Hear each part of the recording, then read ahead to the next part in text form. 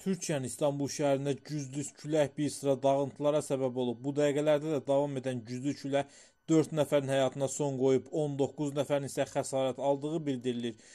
Güclü külək İstanbulda bir neçə binanın damını uçurub, hətta Esenyurt səmtində külək evlərin damlarını küçədən keçənlərin üzərinə atıb.